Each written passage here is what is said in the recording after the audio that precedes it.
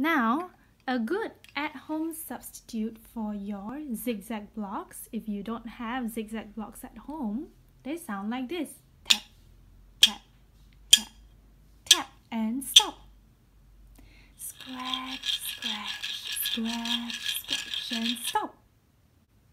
You can substitute the zigzag blocks with two sieves like that. Can you tap them together? Tap, tap, tap, tap, and stop. They make scratching sounds when scratched together too. Scratch, scratch, scratch, scratch, and stop.